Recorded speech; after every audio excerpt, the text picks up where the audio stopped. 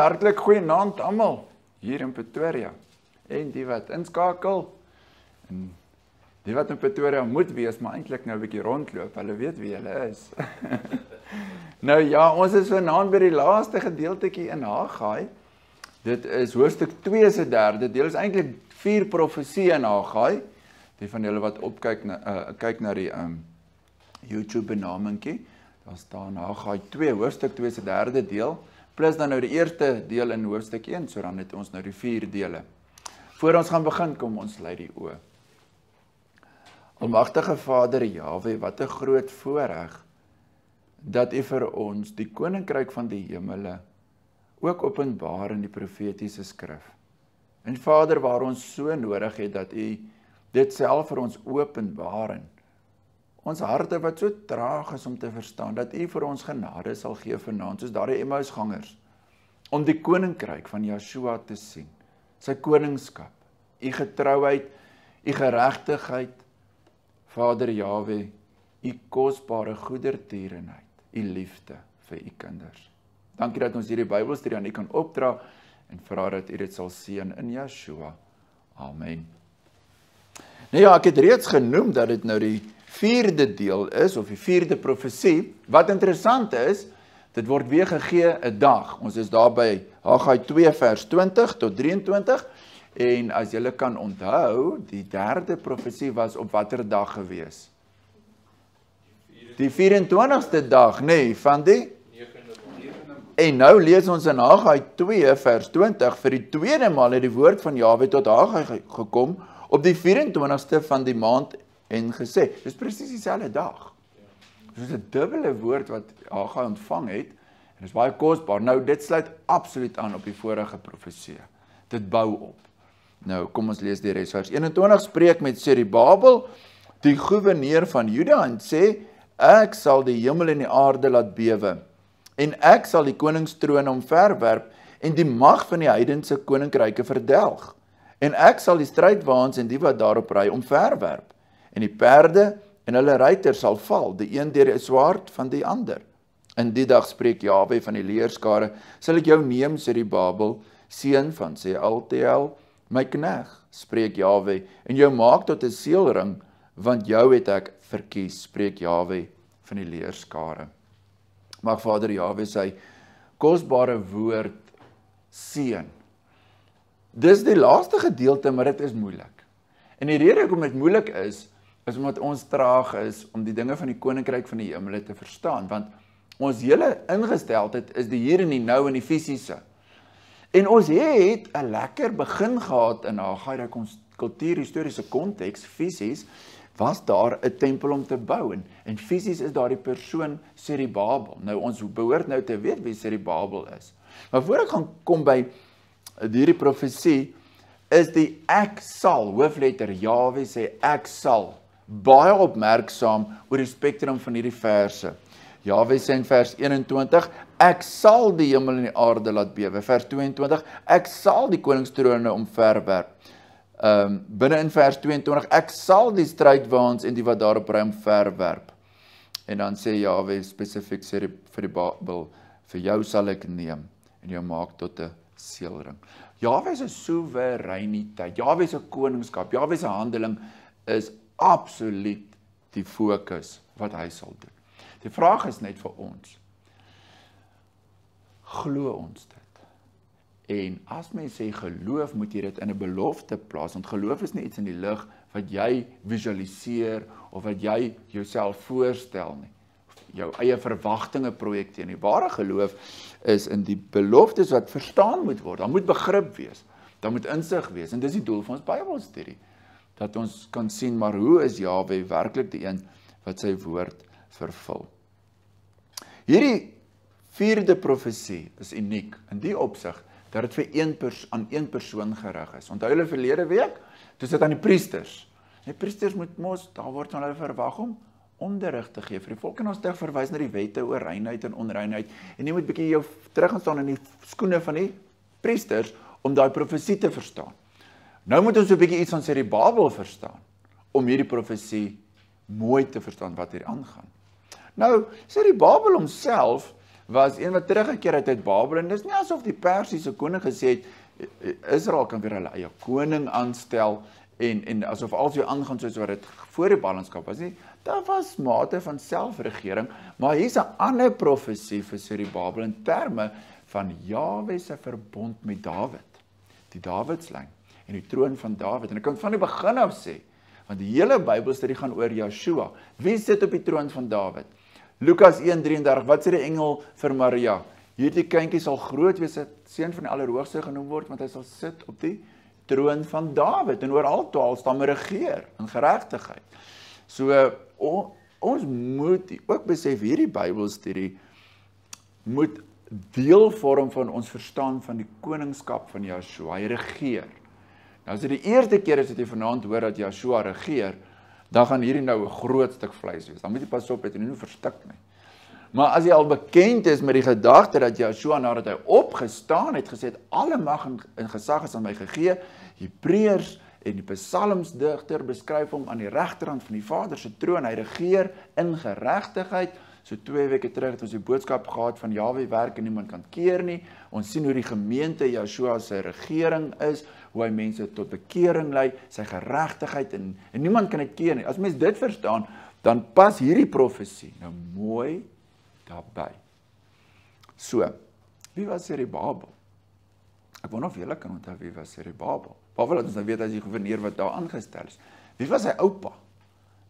Sy pa het ons hier sy naam gelees. Ek konsentreer nog ons mooi om te sê sê ALTL. Ek probeer baie hard, maar ook op dit is daar ietsie te sê. So eerste ding wat ek wil doen is kom ons blaai vinnig na daar waar die ballingskap begin het. Julle kan onthou die ballingskap van Juda het in fases. Nou die eerste fase was Daniel, die jong manne, die slotmakers, al die vernuftige manne, nê, nee, wat weggevoer is. Wie was die eerste koning wat afgesit is? Kom ons blaai gou na 2 Konings 24. Want dit is hierdie sê die Babel se oupa. 2 Konings 24. En uh, ek het kan jy onthou nie nou onlangs het ek vir die jong mense gesê vat jou Bybel en merk die ballingskappe. 2 Konings 17 die 10 stamme se ballingskap, 2 Konings 24 die twee stamme se ballingskap, Jerusalem ballingskap. Maar dit het in fases gebeur. Nou 2 Konings 24 vers 8 lees ons 18 jaar was Jojagen. Jojagen. Nou daar by Jojagen kan jy in potlood skryf. Jegonja. Jegonja. Dis Jojagen, is dieselfde persoon. Hy was 18 jaar oud toe hy koning geword het. Hy het net 3 maande in Jerusalem geregeer. En die naam van sy moeder was Nehusta, 'n dogter van Elnatan van Jerusalem. Hy het gedoen wat verkeerd was in die oë van Jahwe, net soos sy vader gedoen het. Vers 10. In die tyd het die dienaars van Nebukadneser, die koning van Babel, na Jerusalem opgetrek en die stad is beleer. Julle moet nou mooi fokus. Die stad is nog nie vernietig nie. Die stad is nog nie verbrand nie. Hulle sal eers 9 jaar later die stad vernietig het want hulle gaan nou eers so hierdie Jegonja of Jojagen uh, in ballingskap wegvoer saam met Daniel en al die al die vernuftige manne. Daar gaan nog 9 jaar van ellende daar wees onder Sedekia. Daai tydperk van Jeremia se profesie, moenie gaan na Egipte nie, maar hulle bly steen op Egipte. Dit het nog voorgelê, maar in hierdie tyd vers 11 En toe Nebukadneser die koning van Babel by die stad kom terwyl sy dienaars dit beleer, het Jojagen of Jegonja, die koning van Juda uitgegaan na die koning van Babel, hy en sy moeder en sy dienaars en sy owerstes en sy hofdienaars en die koning van Babel het hom gevange geneem in die 8ste jaar van sy regering. So hierdie koning Jegonja gaan lewendig Babelonie toe. Wat het Jawe altyd deur die mond van die profete gesê? Moet hulle veg tot die dood toe of moet hulle verstaan die oordeel kom van Jawe? Hulle moet vrywillig in ballingskap gaan. Hierdie koning was gehoorsaam. Hy het gedoen. Jeremia het later vir Sedekia al gesê: "Luister, moenie so weerstand bied nie. Nee, nee, nee, nee. Jawe sal ons red." Jawe het gesê van my hierdie saak gekom. So hierdie koning het gegaan. Is baie belangrik. Want daan ballingskap het hy seuns gehad. Die oudste sê Altiel en die derde was Pedaja. En nou as ons gaan kyk na ehm um, Serubabel dan is hy een van daai twee se seuns. Nou hoekom ek sê een van daai twee? Die Bybel sê dan duidelik sê Altiel. Ja, maar 1 Kronieke 3 sê Pedaja, so dit kon die swaar huwelik gewees het. Ons weet nie um, of die een dalk die een seun aangeneem het en as sy seun bekend staan want as 'n man dood gegaan het en nie 'n seun verwek het nie kon sy broer hom gevat het so ons weet nie of so iets gebeur het nie die kort en die lank is hy sê die koningslyn hy sê die Dawidlyn dis belangrik maar hierdie Jegonja of Jojagen was deur Jawe baie erg bestraf en ons moet gou gaan na Jeremia toe blaai Jeremia 24 Verskoon 22, Jeremia 22. Nou ek staan en speel so met my trouring. Ek probeer vir julle 'n boodskap onbewustelik deurgee en ek spot sommer. Julle sal sal nou verstaan.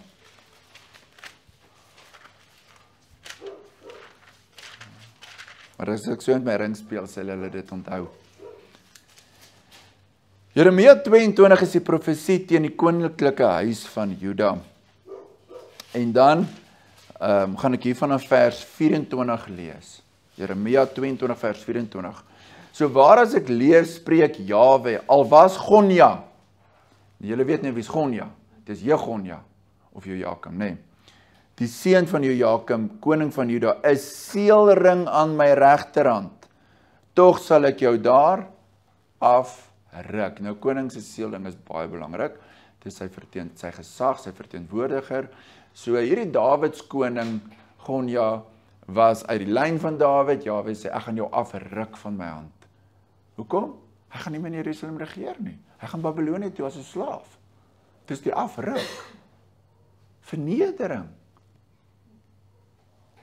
En alles wat daarmee saamgaan wat wat 'n seelering als beteken het. Dis hierdie koning van Juda wat saam met sy ma weggevoer is. Afgeruk van Jawe se hand. Ek sal jou gee in die hand van hulle wat jou lewe soek vers 25 en in die hand van hulle vir wie jy bang is, naamlik in die hand van Nebukadneser, die koning van Babel en in die hand van die Galdeërs. En ek sal jou wegslinger, nie saggies vergesel weg, nie wegslinger saam met jou moeder wat jou gebaar het na 'n ander land waar jy nie gebore is nie en daar sal jy sterwe. sien julle die profesie van Jaweh? Maar na die land waar hulle siel na verlang om daarin terug te kom, daarin sal hulle nie teruggaan nie. Is hierdie man Gonja 'n veragte, verbryselde voorwerp of 'n ding waar 'n mens geen behaan het nie? Waarom is hy en sy geslag weggeslinger en weggewerp in 'n land wat hulle nie ken nie? O land, hierdie is nou 'n lied, dis 'n treurlied. Jeremia het baie klaagliedere gehad. So ons lees dit nou net so vinnig as verse, maar daar's eintlik 'n 'n profetiese lied hierin. O land, o land, hoor die woord van Jawe. So sê Jawe, skryf hierdie man op as kinderloos. 'n Man wat nie voorspoedig sal wees in sy dae nie. Wat want dit sal niemand van sy geslag geluk om te sit op die troon van Dawid en nog oor Juda te heers nie. Julle moet nou vashou.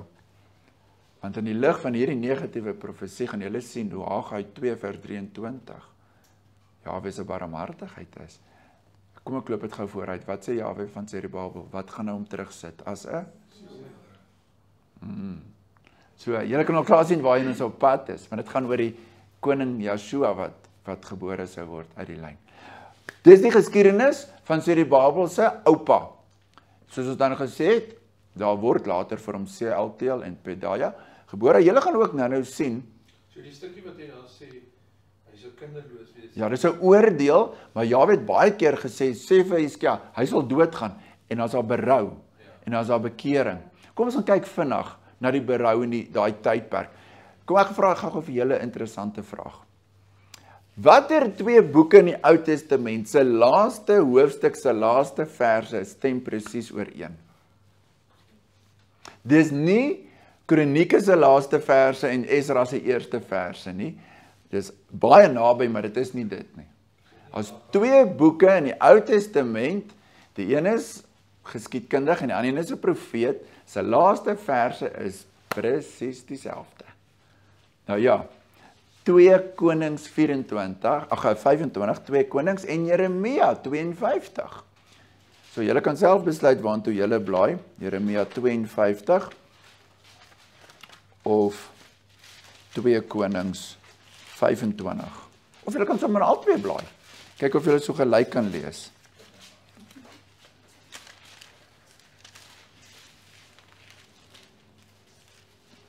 So die opskrif van Jeremia 52 is die beleg en inneming en verwoesting van Jerusalem. Dis na daai 9 jaar tydperk. Maar dan eindig Jeremia 52 hier van vers 31.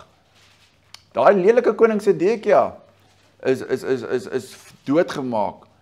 Maar watter ander koning was lank terug 9 jaar tevore in Babel weggevoer?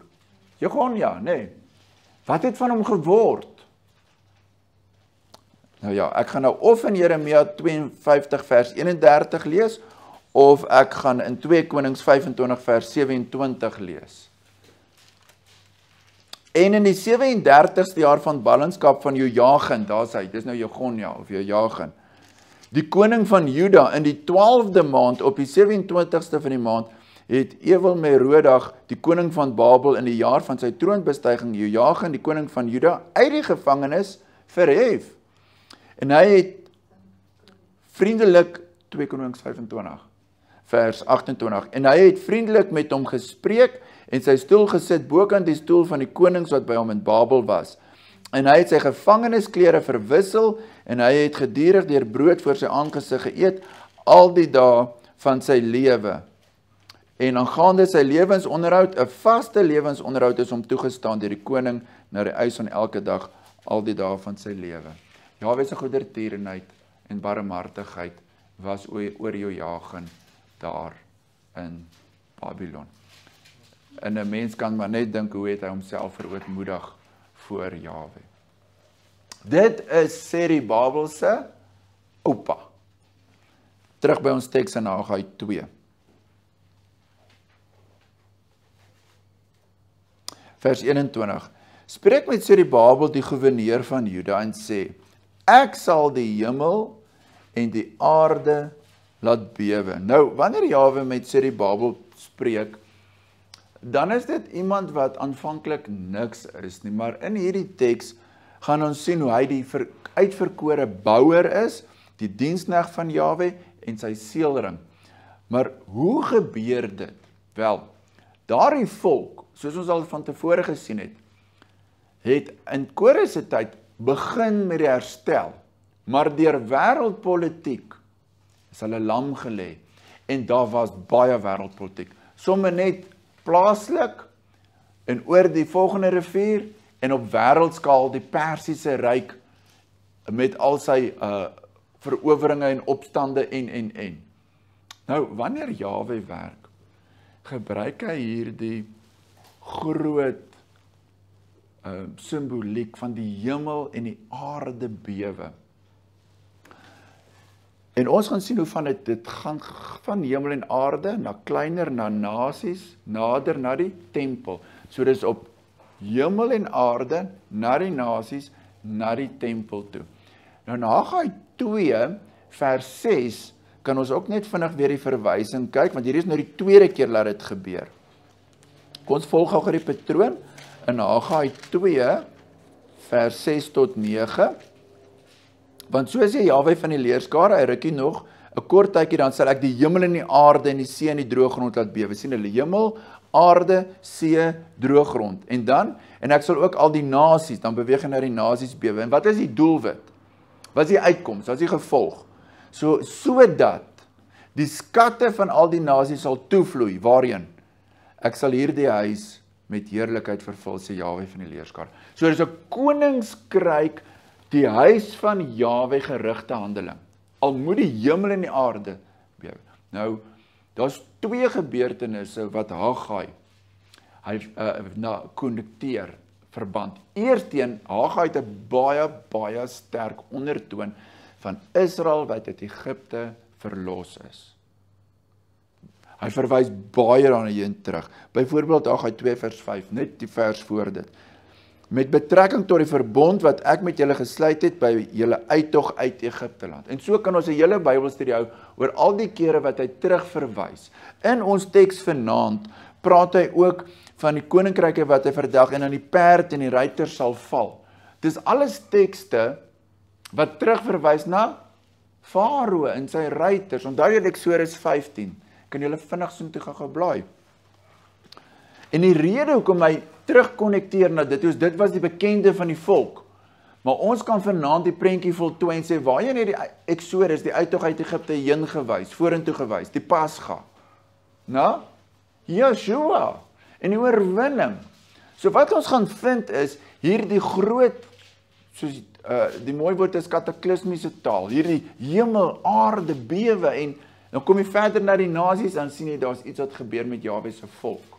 Nou Haggai gebruik dit en of die Heilige Gees gebruik dit deur Haggai om die van die bekende na die toekoms. Want hoe sal Yeshua se koms weer wees? Hoe sal die verlossing van sy volk weer wees? Presies dieselfde. Uh, nie presies dieselfde nie, maar dieselfde beeldspraak. Eksodus 15 Hulle gesê hulle gaan verstik as jy as dit 'n bietjie vinnig kom. Luister maar net weer na die tyd. Eksodus 15 is 'n lied En dis in hierdie liede, liedere of profetiese liedere wat hierdie taal gebruik word. Eksodus 15 vers 1 en 2. Toe het Moses en die kinders van Israel hierdie lied tot eer van Jahwe gesing, dis nadat hulle deur die Rooi See getrek het. En dit is wat hulle gesê het: Ek wil sing tot eer van Jahwe, want hy is hoog verhewe. Die perd en sy ruiter het hy in die see gewerp. Onthou jy die perd en sy ruiter? Hy staan net so in Haggai 2 vers 22. Jawe skud die aarde. Hy en dan is dit hierdie vier woorde in Nagai 2 vers 22. Hy sal die koningstrone omverwerp, hy sal koninkryke verdelg, hy sal omverwerp en hulle sal val, die ruiters en die perde. Ek wil nog so 'n bietjie van hierdie Eksodus verhaal vir julle voorbeelde gee. Psalm 66. Ons weet hierdie het gebeur. Ja. Toe dit deur die Rooi See. Ja sê jy dis 'n verwysing na wat die die die die hele uittog uit Egipte. As ons nou 'n bietjie na die liedere kyk, die psalms, dan sien ons in die een asem sal die psalmdigter terugverwys na die volk se eksodus uit Egipte. En in die volgende asem gebruik hy tekste wat Paulus quoteer met Joshua se opstanding. Ek gaan jou nou wys in Psalm 68. Ons gaan net gou eers na Psalm 66 toe en dan 68 en dit is die vol dit is die dit is die heerlikheid van Jahwe se se godswoord. Daar gebeur op fisiese vlak. Israel wat fisies uit Egipte verlos word. Maar Jesaja noem vir Farao die vinnige slang, Raab. Wat heenwys na die duiwel. En sy kop wat vermorsel word. En so kry ons hierdie fisiese gebeure in die Ou Testament wat heenwys na die volmaakte oorwinning van Joshua die koninkryk van duisternis. Farao word later 'n beeld van die sataniese ryk. So kom ons kyk gou-gou net na hierdie beelde. Heel moontlik toe Israel uit Egipte verlos is, was dit nie dat die hele aarde daar was heel moontlik reën en storms en daar was by Sinai donder weer en so. Maar daar word 'n geweldige eind 'n oordeel taal gebruik. En Haggai gebruik dit. Hoekom? Want dis wat die psalms gebruik het vir Exodus en dis wat die profete gebruik vir Yeshua se koms. Daar daar's daar's 'n koneksie. Kom ons lees 'n paar tekste, dan kyk ons of ons daai koneksie kan kan kan optel. Eerste een is Psalm 66 vers 1 tot 7. Nou as mens so 'n bietjie ehm um, kom ek lees gou-gou eers loflied na die lyde Psalm 66 vir die musiekleier 'n lied, 'n psalm, juig tot eer van God, o ganse aarde, besing die eer van sy naam, maak heerlik sy lofsang. Sê tot God, hoe vreeslik is u werke. Nou hierdie is baie belangrik. As Haggai praat oor die werke van Jawe. As hy praat van die skatte wat toevloei na die tempel toe, waar, waar begin hy? Jawe skud die hemel en die aarde. Wat is waarneembaar vir die mens? Skatte wat toevloei na die tempel. Maar dit was net 'n beeld van die hemelse. So dis wat mens elke keer kry. Vreeslik is Jaweh se werk. As ons Eksodus 15 gelees het, want ek haas nou. So julle het die presies dieselfde taal opgetel het. O Jaweh, daar's nie wie is soos U. God wat wonders doen. Deur die grootheid van die sterkte sal U vyande kruipende na U kom. Is dieselfde taal as Haggai 2. Laat die hele aarde U aanbid in psalms om tot U eer. Laat dit U naam verhef in psalmgesang. Kom en aanskou die dade van God. Dit sluit nou aan by ons boodskappe Jawe werk en niemand kan keer nie. Hy wat gedig is in werking oor die mense kinders. Nou waaroor is die psalmdigter besig om te sing? Vers 6. Hy die see verander in droë land. Hulle het te voet deur die rivier gegaan. Daar was ons bly in hom. Waaroor gaan dit? Vers 7. Hy heers vir ewig deur sy mag. Nou die Hebreëse woord in Haggai 2 vers 22 sê ek sal koningstrone omverwerp. Is presies dieselfde woord. Hy het die see verander. Dis hierdie omkeer. Dis hierdie absolute teenoorgestelde. Satan gaan aan op die aarde en dit is hy kom te steel te slag en steel slag en uh, vernietig vermoor Wat kom Joshua doen? Ek het gekom dat julle lewe, daardie omverwerp. Jawe kloof die see en hulle stap op droë grond. Ek hoor dit heeltemal om. Die die beskrywing van Jawe se koninkryk, veral met Moses en die staf, as hy die Nyl slaan, is eintlik 'n Aaron se staf. En hy verander in bloed, is dieselfde Hebreëse woord. Hy keer hulle heerskappy om. Jawe om uh, sal die koningstroon omverwerp. Nou daar's baie beelde. Haggai verwys na een die Eksodus verhaal. En ons kan na Dawid kyk wat Goliat doodmaak, ons kan nou klomp kyk. Wie vervul dit alles volmaak? Joshua.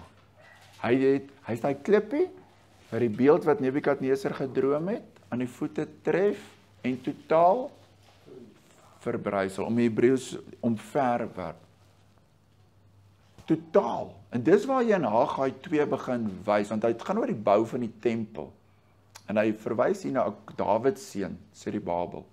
So vanaand kan moeilik raak omdat dit beeldspraak is, maar hoe meer mens geoefen daarin raak oor en oor. Bietjie vanaand doen ons net Haggai 3 versies. Verwys terug hier, verwys. Ons almal ken Eksodus verhaal, maar dit is baie belangrik. Ons lees vinnig oor die 10 plan. Dink dit is maar net Jaweh sê ek wil vir my naam maak. Ek wil vir julle wys hoe gooi ek 'n koninkryk om. Hoe vat ek daai koning Farao tot in die see en ek vernietig hom. Psalm 68. Rassie, hier kom dit wat ek nou verduidelik het.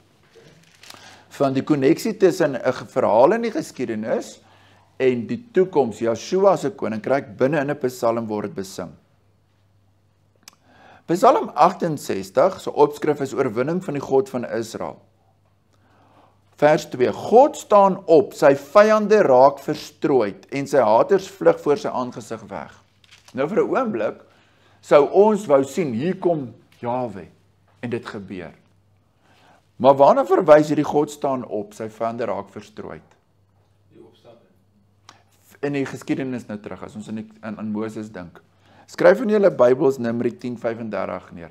Elke keer waar die wolkkolom of die vuurkolom bokant die ark opgetel het en hulle getrek het dan sê Moses God staan op sy vyande word verstrooi die Exodus Numeri 10 35 kan ek hom vinnig vir julle lees? Numeri 10 Nou wat baie belangrik is is om te sien dat dit die ark die tempel die verbonds heiligdom van Jahwe is wat beweeg en die vyande word verstrooi. Dit is alles 'n heenwys aan Yeshua. Yeshua is ons verbond, engel van die verbond.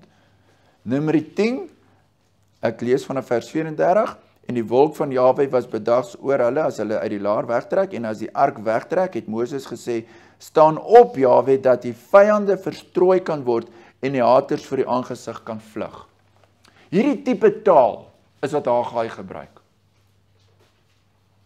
Want wanneer hierdie engel van die verbond kom waarvan hy hy gaan nou sê sê die Babel dis jy, maar ons weet dis uit sê die Babel uit want sê die Babel het nie hierdie ding het nie sê die Babel se tyd gebeur nie.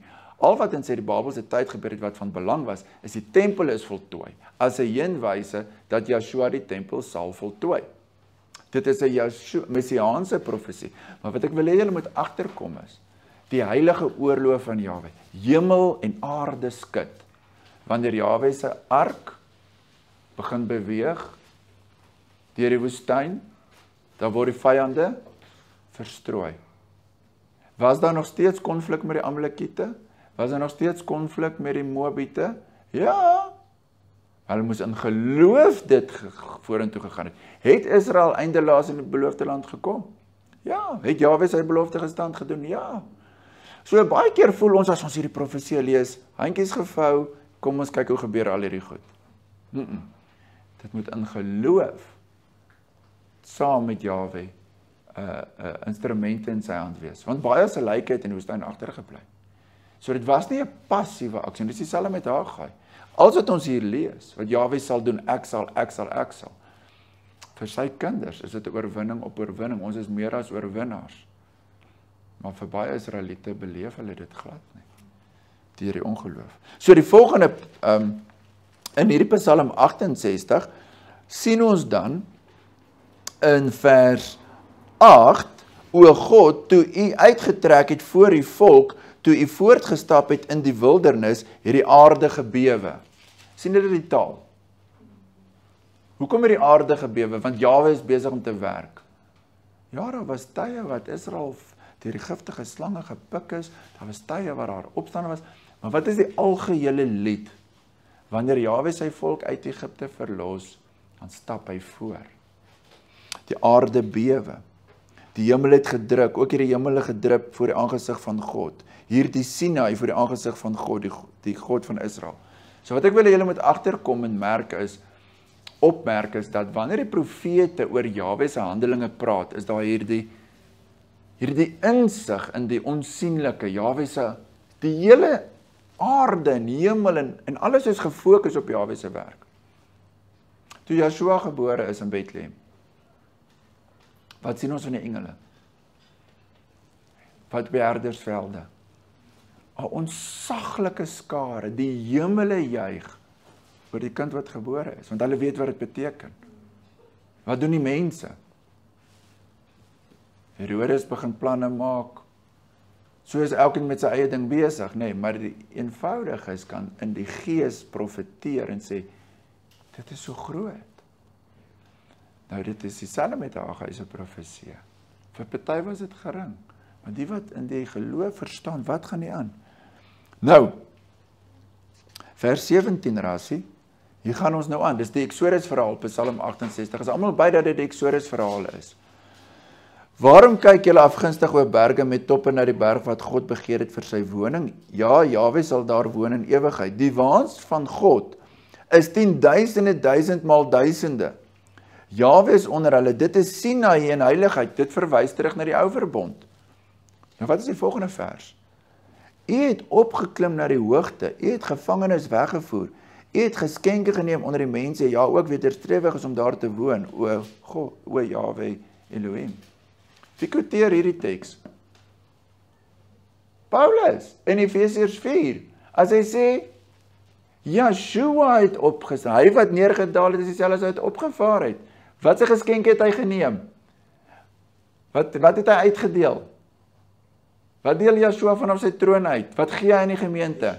Herders, leraars, wat heers, wat die woord predik, profete, evangeliste en hulle rus die gemeente toe sodat almal hulle gawes in die huis van Jahwe kan bring tot stigting van die gemeente gaan sê, gaan lees Efesiërs 4 vers 8 is die teks wat hier gekwoteer word.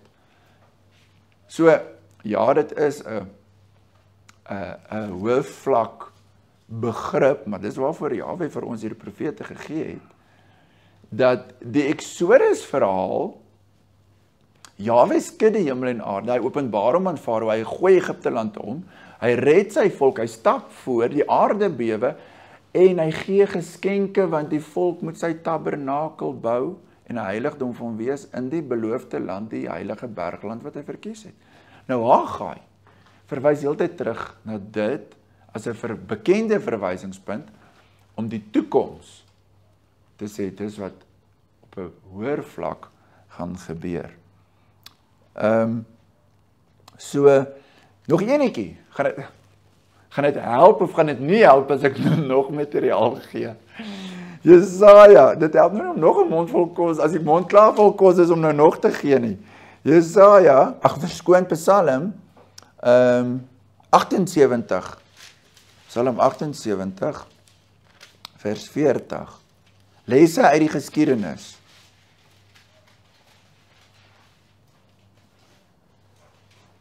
Psalm 78 vers 40 Hoe dikwels was hulle weer strewig teen hom in die woestyn? Ons is terug by die Eksodus verhaal. En hulle het hom gegrief in die wildernis en hulle het God opnuut versoek en die heilige van Israel gekrenk. Hulle het nie aan sy hand gedink daai werke daardie daardie onsaglike kragtige dade aan die dag toe hy hulle van die teenstander verlos het nie. Toe hy sy tekens gedoen het in Egipte en sy wonders in die veld van Soan en hy het die riviere verander, omgegooi, die koninkryk, riviere spreek van die koninklike mag, die lewe van die Nyl was hulle god. Hy het verander in bloed en hulle strome sodat hulle nie kon drink nie. En dan vertel hy van die steekvlee ensovoorts. So deels van Haggai se boodskap ook is dat Jahwe werk en dan moet opgelet word, dan moet ag gegee word. Van hierdie dag af sê Jahwe, sal ek seën. Nou kom ons gaan terug na ehm um, na ons teks. Ek kan maar net op hierdie punt noem Dominee Jaco het hulle boodskap of twee hier van van hierdie taal gebruik gemaak. Hy het uit Jesaja 13 van Jahwe die hemel en die aarde skit Joel 3. Ek dink as ons net aanhou profeet vir profeet vat en elke keer terug verwys sal ons gewoond raak aan hierdie taal gebruik en wat dit beteken in terme van Joshua se oorwinning. So ons lees weer 'n bietjie hier in Haggai 2.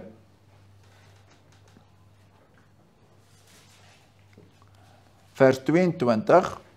Jawe sê ek sal die koningstrone omverwerp, dis die goddelike oordeel en die mag van die heidense koninkryke verdelg En ek sal die strydwaans en die wat daarop ry verwerp en die perde en hulle ruiters sal val, die een deur die swaard van die ander.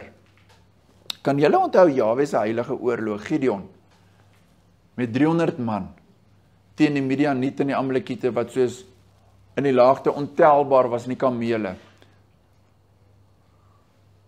Gideon hulle blaas en breek die vaak 'n uh, uh, kruike en die swaard van die een het teen die ander losgebreek. Dis nie die eerste keer nie. Dis baie wat dit gebeur. Net so met die ehm um, Edomite in Josafat se tyd.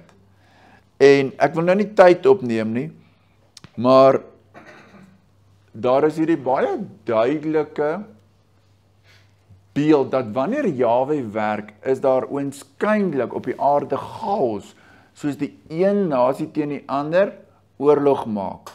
Kan julle onthou met Matteus 24? As Yeshua sê Jerusalem gaan val en sy koninkryk gaan vir ewig bly staan, dan sê die een nasie sal teen die ander oorlog maak. Dis presies dieselfde patroon. Dis waarheen Haggai profeteer. So wat is ons as mense belewing? Ooh, ek kan die Bybel lees vanaand nie. Ek moet gaan kyk wat in Rusland en Oekraïne. Hier's nasie teen nasie en ek moet Dis maar net Jawe wat die aarde skud. Hy is besig om sy koninkryk in in die harte van sy kinders te vestig deurdat ons ons oog op ons koning Yeshua hou. So, ek sien baie uit dat Vader vir ons treetjie vir treetjie sal leer terug in die profete. Dit was polities onstabiele tye in Serubabel hulle se tyd. Maar dit is reeds in daai tyd wat Jaweh sê kyk op na my, kyk na die profesie, kyk na Yeshua. Want dis hoe ek my koninkryk vestig te midde van hierdie ontelbare menigtes wat in die laagte lê. Ek wil nou nie eers geblaai na Esegiel 38 Gog en Magog, maar dit is presies dieselfde nasie teen nasie. Hulle sal mekaar uitwis. Dis nie vir ons om daar dit te probeer self uitredeneer en oplos nie. Wie's op die troon? Yeshua. En Openbaring sê wanneer hy op die troon is, wat doen hy? Hy breek die boekrol se seels. En wat is die seels? Die die uitgooi van die skale. Is dit vrede vrede? Nasie teen nasie. Die eenomstuimigheid van dis hoe hy sy koninkryk vestig. Wat lees ons in die einde nadat hy geheers het? Vernietig hy die laaste vyand is die dood. So dit wat ons nou beleef, hoe moeilik dit vir ons is om te verstaan, is Joshua se regering. Want sy gemeente word gebou, dit wat hy wil hê ons moet doen, naamlik in die geloof vas staan, dis wat hy wil hê, dit is dit gebeur. En so sal ons verstom staan. So ons moet die regering van Joshua verstaan om hierdie teks regtig um by um te sien dat dit is nie in sy die Babelse tyd. Daar's geen geskiedenisbronne dat in sy die Babelse tyd dat die Persiese ryk en al die ryke gestop het en sy die Babel regeer in Jerusalem. Dit bestaan nie. Die Grieke het Alexander die Groot, hulle het later die uit die Perse oorgevat en na met die Romeine. Maar wat lees ons van Daniël? Ek het daarna verwys die klip koninkryk wat die voete tref. Het Joshua die Romeine op 'n fisiese vlak oorwin? Nee. Hy het vir ons die hemelse koninkryk laat deurbreek, laat ons in hom gefestig is. So, kom ons sluit so 'n bietjie af hier met vers 23. In die dag spreek Jawe van die leerskare, sal ek jou neem sê die Babel. Seun van sy Altel, my knegg. Nou daar's 'n baie baie hoë roeping om vir iemand die knegg van Jawe te noem. Moses, Malagi 4 vers 4 word die knegg van Jawe genoem. Dawid, 2 Samuel, is Jawe se knegg. En dan kry sy die Babel. Hierdie besondere roeping. Ons het in Jesaja 53 net die lydende knegg Joshua soos 'n baie hoë roeping die my knegg spreek Jawe en ek maak jou tot 'n seelring. Sy oupa het die oordeel gekry, ek sal jou afruk. Nou sê Jawe, ek herstel. Nou want ek het jou verkies. Dit gaan oor Jawe se soewereine wil. Het sê Babel iets gedoen? Nee, inteendeel hy swak. So kan julle onthou in Jeremia 22 waar ons gelees het sy oupa word afgeruk. Nou kom ons gaan weer terug na daai gedeelte toe. Nou hoop ek vanaand Jeremia 23 kan soos 'n legkaart stukkie aan Jeremia 22 vir julle vashak. Nadat ons in Jeremia 22 gelees het, daar's nie vir jou 'n toekoms nie, daar's nie kinders nie, Jegonia. Jy word afgeruk. Kry ons in Jeremia 23 die oordeel oor die herders, oor die konings. En wat is die opskrif by Jeremia 23 vers 5? Daar's 'n geslag. Daar's 'n uitloop. Kyk, daar kom daar vers 5 spreek Jaweh dat ek vir Dawid regverdige spruit sal verwek. Julle gaan nou sien in Sagaria hoe hierdie tema. Sagaria profeteer vir Serubabel. So hierdie Serubabel, hierdie profesie gaan oor die heenwyse na Joshua wat wel op die troon. Onthou nou net 'n paar verse tevore, Dawid se lyn afgesny, geen heerser want Jegonia was die troon was die lyn van Dawid. Nou sê Jawe, ek sal vir Dawid regverdige spruit verwek en as koning sal hy regeer en verstandig handel, reg en geregtigheid doen in die land. En sy dae sal Juda verlos word en Israel veilig woon. En dit is die naam waarmee hy genoem sal word. En 'n naam is belangrik. Dis sy identiteit Jawe ons. En as jy die grondwet wil lees gaan lees die boek Romeine. Geregverdig deur geloof. Dis die grondwet van hierdie koninkryk. Regeer Joshua in geregtigheid. Hy bedien ons as hoëpriester met geregtigheid. Hy neem mense se uitverkorenes se skuld weg en hy maak ons konings en priesters vir sy God en Vader Openbaring 5. Dis hoe hy regeer. Hy ruk ons soos 'n brandhout uit die vuur en hy herstel ons. Hy het die gesag om te sê seën nie net jou siekte nie, maar jou sondes is vergewe. En klaar die Fariseërs sê God's lasterlik, net God het die mag om te vergewe. Joshua regeer. Hy mag sê ek vergewe. So sy sy sy koninkryk is geregtigheid wat hy gee. Wat is Satan se se se se, se slawerny, duisternis, sonde, oordeel. Dis die twee koninkryke. Nie wêreldpolitiek nie. Die nasies word maar geskit en geruk. En nie een en dan word Israel gesif soos 'n sif, maar nie een koringkorrel sal op die grond val nie. Maar ons moet deur baie verdrukking in die koninkryk ingaan om te regeer saam met hom. So hierdie Jeremia 23, die profesie van Yeshua wat kom, is so mooi barmhartigheidsprofesie want nou net is Gonja verdoem, die seelring is afgeruk, die geslag is verdoem. En dit is via Seri Babel. Kan ek so julle gesigte sien, is dit 'n frons of is dit 'n glimlag? Haggai 2 vers 23 Seri Babel, die seelring, ons keer terug na ons teks en ons sluit daarmee af. Haggai 2 vers 23 In die dag spreek Jawe van die leerskare sal ek jou neem sê die Babel seël van sê Altel my knegg spreek Jawe en jou maak tot 'n seelring want jou het ek verkies spreek Jawe van die leerskare die soewereine God. Sê die Babel al was jou voorouers jou oupa in ballingskap weggevoer al was daar hierdie oordeele in Yeshua spruit van Dawid is hierdie barmhartigheid en dit is waaroor oor die terugkeer gaan. Jawe gaan voort. Hy hy vergewe, hy versoen. Onthou julle die vorige die derde profesie. Hulle was onrein. Toe sê Jawe, maar ek sal julle seën. Hy gaan ons rein maak. En hy het nie heeltemal in daai profesie gesê hoe maak hy ons rein nie. Maar ek het vir julle gesê gaan lees net Sagaria want die twee profete profeteer saam. Jawe het gesê ek gee die gees van barmhartigheid en berou en die stroom wat vloei uit my tempel wat julle reinig. So as jy Sagaria en Haggai saam lees, dan sien mens Jahwe se reiniging. Julle sal sien die Here wie julle deursteek het. So dis alles profesie na Yeshua. So gaan dit oor die Babel as mens? Nee. Dit gaan vir wie hy staan, vir wie hy 'n heenwyser is. Het het het is dit as mens vat Dawid, was Dawid die belangrike een in die Ou Testament? Nee.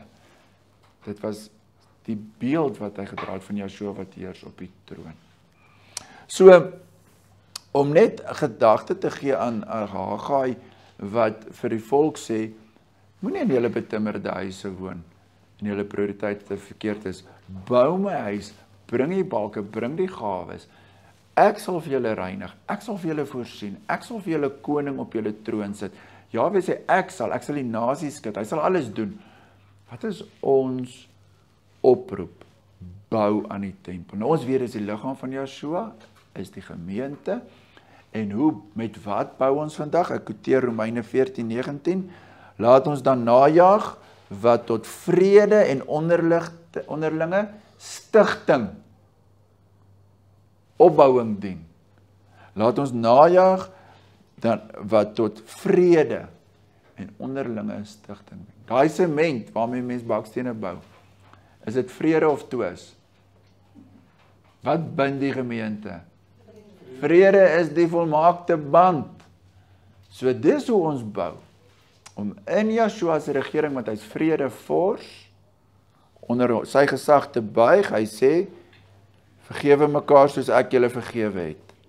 Die vlees spring op, die vlees wil nee Galasiërs 5 sê Die Gees moet heers oor die vlees. Dis koninkryksterme. Dis gesag, is autoriteit. Een van die vrugte van die Gees is vrede. Dis hoe die gemeente gebou word. So mag Vader Jahwe ons genade skenk om nie net die profete te lees om om koerantopskrifte of allerhande verskyn. Nee, die koninkryk het gekom. Yeshua het gekom. Die toepassing is buig onder die koningskap van Yeshua, laat jou 1 Petrus 2 soos 'n lewende steen op hom die lewende steen opbou tot 'n geestelike huis om geestelike offers te bring. Was dit vir Jawe belangrik om die Exodus verhaal, rigters, profete met hierdie uh metafore aan sy volk oor te dra? Het hy geweet in 2024 gaan mense met 'n klomp frons op hulle gesigte sit. So laat dit vir ons 'n uitnodiging wees om vir Jaweh te sê verruim ons gedagtes. Ons is tog so besig met onsself. En die dis nie net beeldspraak asof dit nie die hemele is wat betrokke is nie. Want gaan kyk na Joshua se vloekhout. Die aarde het 'n geweldige duisternis beleef en en maar dit gaan nie ook net oor die materiële, die fisiese dit gaan oor die krag van die koninkryk van die hemele. Want wanneer Petrus hulle op Pinksterdag in die bowe trek, is dit gaan oor net oor die vuur en die rukwind. Dit gaan oor die 3000 harte wat oorgebring is van ongeloof na geloof. Daar's die krag van die koninkryk. En dis wat ons soek. So ja, daar is al hierdie taal, daar is al hierdie beeldspraak. Maar is vir ons om die omvang te verduidelik van dit waarmee ons besig is. Hoe voel ons vanaand? Klein. Gering. Wat sê Joshua vir die disippels? Wees nie bevrees nie, klein kerretjie. En wat is die direkte woord nou dat hy gesê het julle is klein. Die Vader behaag om aan julle die koninkryk te gee. So dis vir ons 'n bemoediging om hierdie koninkryk sake te lees. Want die engel sê altyd vir die persoon wees nie bevrees nie, ek is met jou. Jou belewing is ag ons is maar nietig en kyk al hierdie wêreld regeerders. Dis hoekom ons nou die skrif toe gaan om die regte perspektief te kry van waarmee is ons eintlik besig. Hoekom moet ons getrou wees? Hoekom moet ons buig vir 'n opdrag soos vergewe mekaar? Dis belangrik. En ons kry uit Jaweh se woord uit die regte korrekte perspektief. Mag Vader Jaweh elkeen van ons seën. Kom ons lê die oë. Almagtige Vader Jaweh, dankie vir u woord. Dankie vir die voorreg om dit in ons eie taal te kan hê. Maar dan het ons ook nodig dat U deur die Gees dit vir ons oopmaak sodat ons waarlik U sal aanbid, sodat ons voor U sal staan en in die koninkryk kan soek en trots wees daarop dat ons hartklop elke dag sal wees en die verlange van ons binneste laat U koninkryk kom en laat U wil geskied. Regeer in ons lewens want daar is geen een soos U nie. Dankie dat ons vanaand opnuut kan dankbaar wees dat Yeshua opgestaan het uit die dood, oorwin het, op die troon sit en dat hy wanneer hy weer kom die laaste vyand sal vernietig. Doen slegs U wil. Want U wil is volmaak in Yeshua. Amen.